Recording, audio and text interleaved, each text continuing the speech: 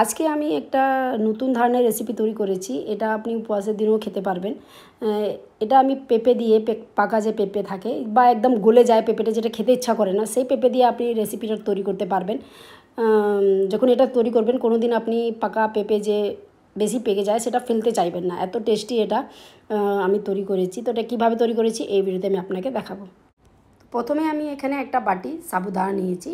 এটাই ছাঁকনি দিয়ে আমি এভাবে চেড়ে নিচ্ছি। আপনি সাফ ন্যাকড়া দিয়ে ওটা মুছতে পারেন, তাহলে এর মধ্যে যে হালকা হালকা গুঁড়ো থাকে সেটা যেন সাফ হয়ে যায়। তো ওটা আপনি করতে পারেন।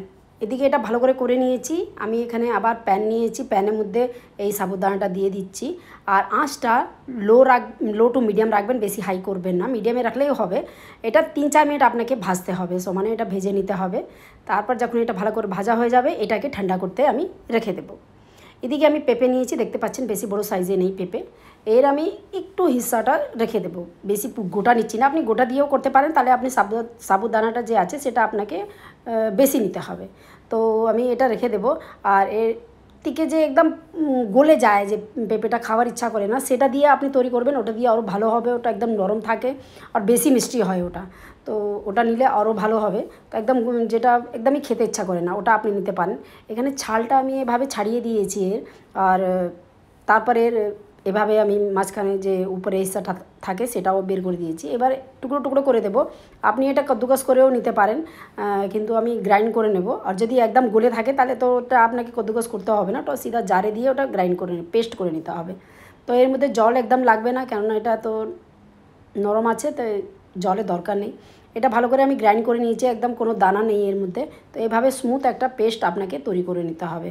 তো এটা আমি বানিয়ে নিয়েছি। এবার আগে আমি এটাকে রান্না করব। তো এখানে আমি প্যান নিয়েছি এখানে। ওই প্যানটা ইউজ করছি। ওর মধ্যে এই পেস্টটা আমি দিয়ে দিয়েছি পুরো। এভাবে করে আর এটা ভালো করে মিক্স করে নিচ্ছি এর মধ্যে। আঁচটা এই সময় আমি লো রেখেছি। লো আঁচে এটাকে রান্না করছি। তো বেশি হাই করবেন না। প্রথমে আপনি লো আছে লো টু মিডিয়ামই রেখে এটাকে রান্না করবেন। এদিকে এটা ঠান্ডা হয়ে গেছে সাবুদানাটা। আমি এটা জারে দিয়ে এটা গ্রাইন্ড করে নেব।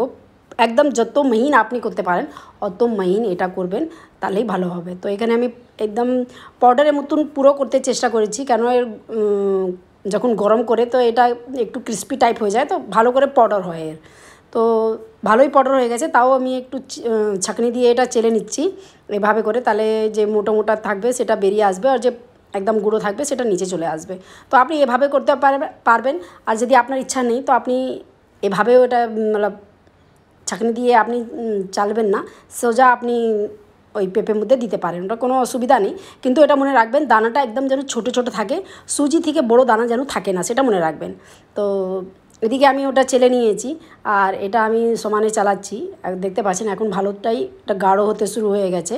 এর মধ্যে যে এক্সট্রা জল থাকবে যে এর মধ্যে, সেটা কম হয়ে যাবে। আমি দেখুন, এখন কত সহজভাবে পড়ছে, কিন্তু যখন একদম গাঢ় হয়ে যাবে তখন অল্প করে পড়বে মানে আস্তে আস্তে পড়বে। তো এই দেখুন, এখন দেখুন কত আস্তে করে পড়ছে। তো এটা করতে করতে তিন চার মিনিট আমার লেগে গেছে। এই সময় আঁচটা আমি মিডিয়ামে রেখেছিলাম কেননা ওদিকে সাবুদানা আমি গ্রাইন্ড করছিলাম সেই জন্য আঁচটা মিডিয়াম লো রেখেছিলাম, আর তারপর আমি মিডিয়াম করে দিয়েছি।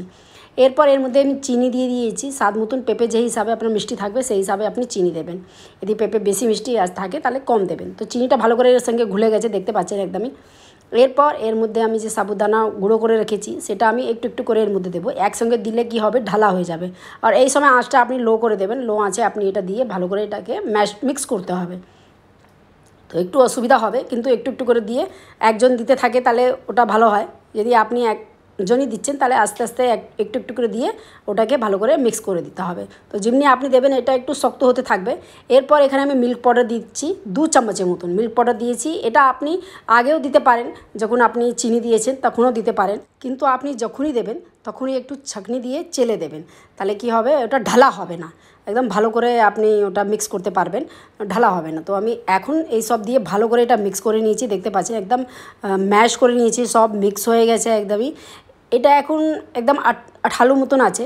এর মধ্যে এক চামচ জাস্ট এক চামচ ঘি দিয়ে দেখবেন, পুরো একদম নিজে থেকেই সব বেরিয়ে আসবে আর সব জুড়ে যাবে একবারে।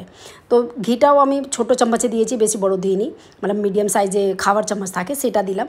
আর এই দেখুন, এটা সঙ্গে সঙ্গেই সব ঘি যেমনি মেল্ট হবে, এটা ভালো করে এর সঙ্গে জড়িয়ে যাবে। সব সাইড থেকে আপনি চেঁচে নেবেন খুব সহজভাবে সব বেরিয়ে আসবে। আর এই সময় আঁচটা একদম লো রাখবেন লো আঁচে আপনি এটা করতে পারবেন। আর যদি অসুবিধা হচ্ছে, তো গ্যাসটা বন্ধ করে আপনি এটাকে আগে করে তারপর আপনি গ্যাসটা অন করতে পারবেন। তো দেখুন কত সহজভাবে এটা সব বেরিয়ে এসছে।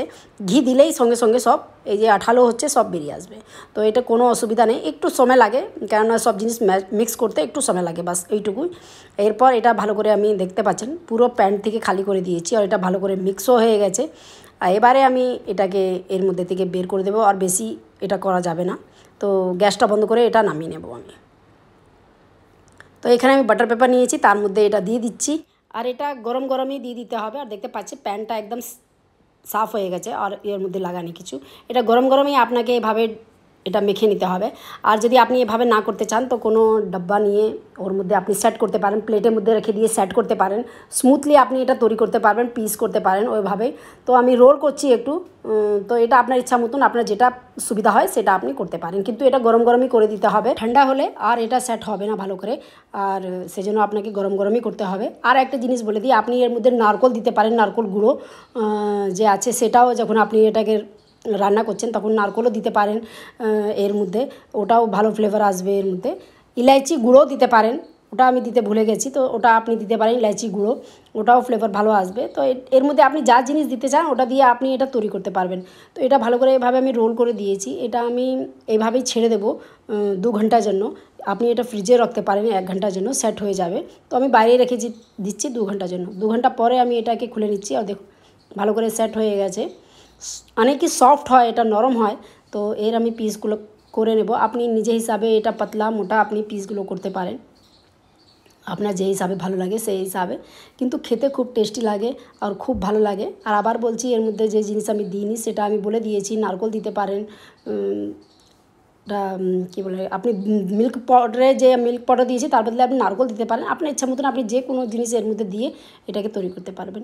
তো এটা একটু গার্নিশ করার জন্য আমি এখানে পিস্তা নিয়েছি, গুঁড়ো করে একটু। আপনি এখানে তিল নিতে পারেন কাজু একটু কদ্দুকাস করে নিতে পারেন এভাবে গ্রেড করে, ওটা নিতে পারেন। আর এভাবে সাইডে সাইডে লাগিয়ে দেবেন, খুব ভালো লাগবে। আর দেখতে সুন্দর লাগে, আর কিছু না। আর এটা আপনি উপবাসের দিনে, যে কোনো দিনে আপনি এটা বানিয়ে খেতে পারবেন স্টোর করতে পারেন এটাকে। এটা অনেক দিন থেকে যাবে, কেননা এর মধ্যে জল দেওয়া হয়নি, তো সে যেন অনেক দিন এটা থেকে যাবে। আপনি ডাব্বার মধ্যে বন্ধ করে আপনি রেখে দেবেন এটাকে। আর আমি দেখে, আপনি দেখেছেন আমি ঘিটা এক চামচই দিয়েছি, ওর থেকে বেশি আর দেবেন না লাগবেও না, অতই লাগবে। আর ভিডিওটা যদি আপনার একটু ভালো লাগে থাকে তো প্লিজ লাইক করবেন, শেয়ার করবেন, আর আমার চ্যানেলকে সাবস্ক্রাইব করতে ভুলবেন না। দেখার জন্য অনেক অনেক ধন্যবাদ। ভালো থাকবেন, সুস্থ থাকবেন।